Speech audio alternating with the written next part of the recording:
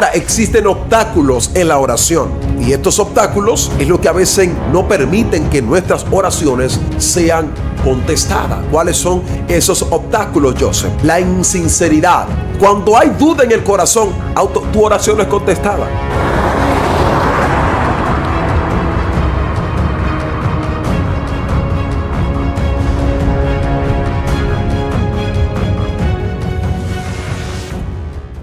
Bendiciones. Hoy quiero hablarte acerca de lo que nadie te ha dicho con respecto a lo que es la oración. ¿Cuál es el secreto? En realidad, yo sé para yo orar de una forma correcta y de un nivel de profundidad en Dios. Antes de hablarte de esto, me gustaría que te suscribas, les dé like, lo comparta para que otros también puedan ser bendecidos. He escuchado muchos de ustedes escribirme y decirme, Joseph, ¿cuál es la manera correcta para yo orar? Quiero tener un nivel de revelación y de profundidad en Dios como tú tienes o como tiene fulano. ¿Cuál es la clave? Mire, amado, la oración humilla al espíritu y abre, le abre los ojos a la verdad y lo capacita a ver y andar en lo que es la voluntad de Dios cuando tú aprendes a comprender que la oración es lo que te revela la voluntad de Dios, andarás en principios, andarás en caminos sobrenatural. Número uno, la oración es un mandato. Nosotros debemos de orar siempre. Jesús habló que debemos de orar siempre. Nosotros no podemos orar un día sí, un día no. Nuestra oración debe de ser el pan de cada día. El libro de Isaías capítulo 55, verso 6 dice, buscad a Jehová mientras pueda ser hallado, llamadle en tanto que está cerca. Si usted se fija, luego Dios en el libro de Segunda de Crónicas, capítulo 7, verso 14, dice, si mi pueblo orares, usted lo ha escuchado, que Dios abriría la ventana de los cielos. Pero Salmos 55, 17 dice, tarde y mañana y a medianoche oraré y clamaré al Señor. Algo que usted debe de entender aquí es que la oración es la clave del éxito de todo hombre y mujer de Dios.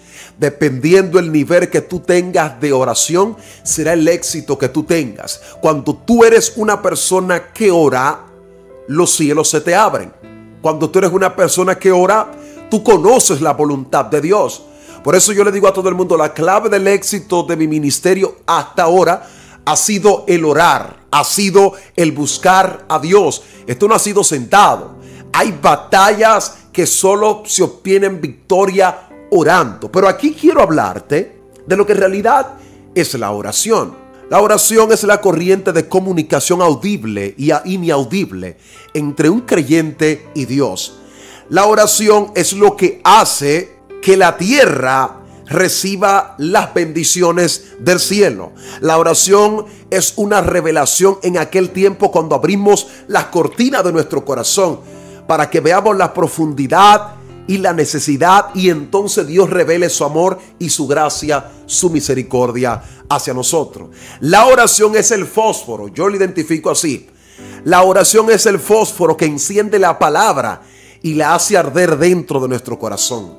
La oración es la calle de doble dirección. No es solo caminamos, escuchamos y esperamos. Ahora, existen características, tome nota la oración tiene característica. Número uno, Jesús lo habló cuando los discípulos le preguntaron, maestro, ¿cuál es la manera de orar? Enséñanos a orar. ¿Cómo debemos de orar de una manera correcta? Si usted se fija, Jesús le dice, Padre nuestro que estás en el cielo, santificado sea tu nombre, venga tu reino, hágase tu voluntad en la tierra, así como se hace en el cielo. Usted se sabe todas esas partes. Aquí se revelan lo que son creo que son cinco o seis pasos, seis pasos que Jesús manifiesta aquí. Esto es una oración modelo. No es que usted se va a parar, Padre nuestro que estás en el cielo santificado. No, Jesús le está hablando a usted una oración modelo. ¿Cómo una oración modelo, Joseph? Aquí se encuentran cinco pasos. Número uno, adoración, suplicación, intersección, acción de gracia y petición. Petición va antes de, de, de acción de gracia. Jesús lo revela.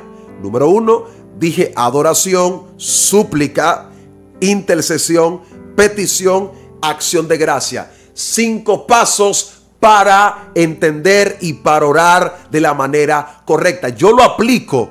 Estos pasos yo lo aplico y sé durar hasta 10, hasta lo que me ha durado han sido casi un día orando. Lo que más ha durado en mi experiencia, orando un día, aplicando estos pasos que Jesús enseñó. Por eso cuando yo voy a orar, se lo voy a revelar en el Padre Nuestro. En el Padre Nuestro le voy a revelar los cinco pasos. Número uno, cuando Jesús dice, Padre nuestro que estás en el cielo, santificado sea tu nombre. ¿Qué está expresando Jesús ahí? Venga a tu reino. ¿Qué está expresando? Adoración. Padre nuestro que estás en el cielo. Entonces dice ahora que eh, dice ahora claramente, ya en el otro párrafo, el pan nuestro de cada día dánoslos hoy. Están suplicando. El pan de cada día dánoslos hoy. Segundo principio. Hablé de adoración, Padre nuestro que estás en el cielo, santificado sea tu nombre, venga a nosotros tu reino. Ahora súplica cuando dice, el pan de cada día, dánoslos hoy. Está hablando de deseo, necesidad. Aquí están suplicando. Entonces, el tercer punto, que es la intercesión, dice, perdónanos, así como nosotros perdonamos a aquellos que nos ofenden o a nuestros deudores. Aquí está hablando de intercesión. Están orando por otro. Entonces la otra parte que resta, que son dos, y no nos metas en la tentación, es petición. Es una petición.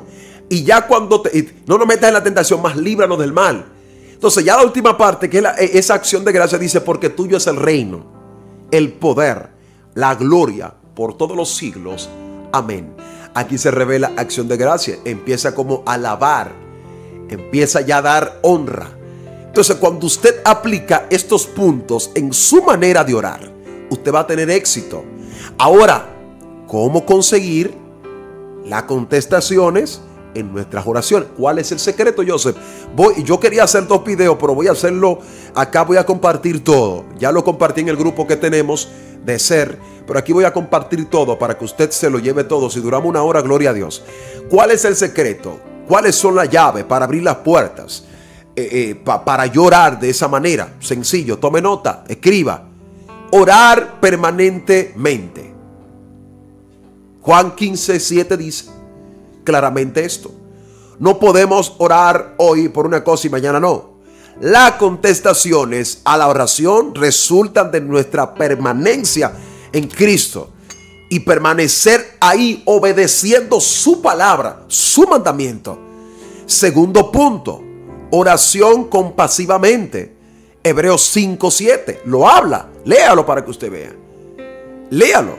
Cuando usted ora importunamente, que lo dice el libro de, de Lucas capítulo 11, versos 5 al 8. Lea, lea esa parte. Y el último texto, que son cuatro, 1 Tesalonicenses 5, 17 y Efesios 6, 18 y Lucas 18, 1. Orad sin cesar. La oración efectiva es el clamor insistente del corazón pidiéndole a Dios algo. Cuando usted ora constantemente, orar en el nombre de Jesús, orar con fe, es que sin fe es imposible agradar a Dios. La montaña no se podrá mover si usted no tiene fe si hay duda en el corazón, ¿cómo Dios va a obrar en tu vida? ¿Cómo tú vas a ver respuesta? Sin Dios aún cumplirlo y ya tú estás dudando. Es que Dios está durando demasiado. Es que yo tengo un mes orando por eso. No puedes poner duda. Debe de tener seguridad. Venga lo que venga, seguridad por encima de todo. Ahora, existen obstáculos en la oración. Y estos obstáculos es lo que a veces no permiten que nuestras oraciones sean contestadas. ¿Cuáles son esos obstáculos, Joseph? Sencillamente, la insinceridad del motivo. Santiago 4.3 dice, pedid y no recibí, porque pedís mal, para gastar en vuestros deleites. Millones de personas, escuche esto, millones de personas piden cosas, cosas que solo son para su deleite. Oraciones de codicia, oraciones, oraciones de avaricia, oraciones que no son con ningún reflejo espiritual. Estas son oraciones que Dios no contesta. Oraciones de avaricia, Dios no contesta eso. Cuando hay duda en el corazón, tu oración no es contestada. Mira, podrán orar 10 mil profetas por ti. Si hay dudas acá, no son contestadas. No son contestadas. Ahora, hay una clave. Si fue Dios que te lo prometió, es otra cosa. Tú puedes hacer lo que tú quieras. Si fue Dios que lo prometió, se va a cumplir. Se va a cumplir. Se va a cumplir. Sara se rió porque tenía la edad avanzada y fue Dios que prometió. No fue Sara que pidió. Dios prometió y Dios cumplió.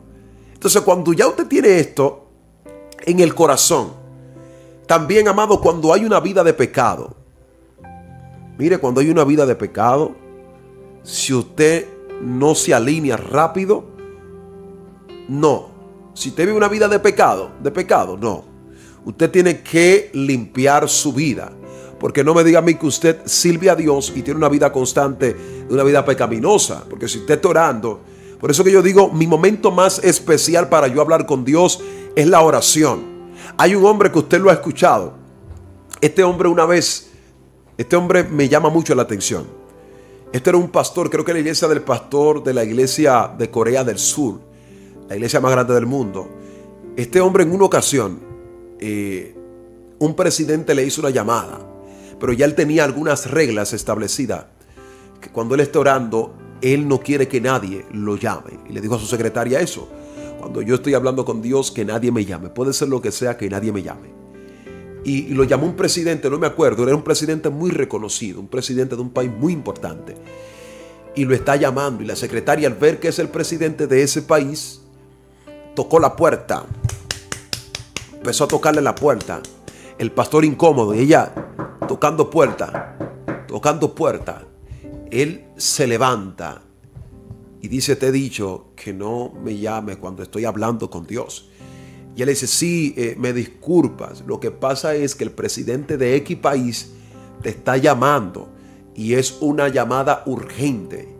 Y él le dijo a ella, dile al presidente que yo estoy hablando con Dios. Que cuando termine de hablar con Dios, yo le llamo. Carácter, importancia al nivel de oración. Cuando usted valora tu intimidad con Dios, Dios te honra. Mire, Dios te honra. Aprenda a darle ese valor. Yo le estoy hablando que un presidente lo está llamando. Y él dice, dígale que estoy hablando con Dios. ¿Usted está escuchando eso? Dígale que estoy hablando con Dios.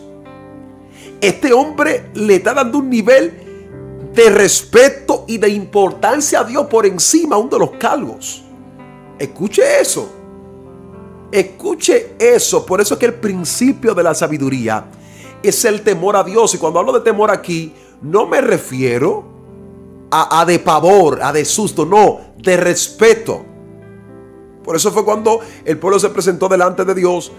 Eh, Dios le dijo, dile que se presenten con temor. Yo diría, ¿cómo con temor? Asustado, no, respeto a Dios. Es respeto a Dios.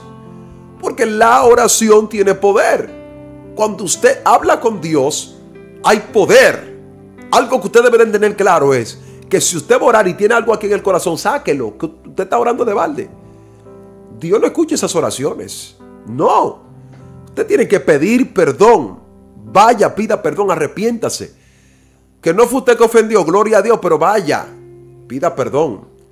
Hay un pasaje que se encuentra en el libro de, en el libro de Isaías.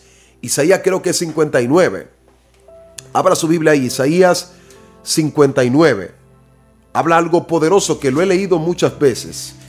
Y habla de, de, los obstáculos que pueden, de los obstáculos que pueden eh, eh, eh, hacer que Dios no lo escuche.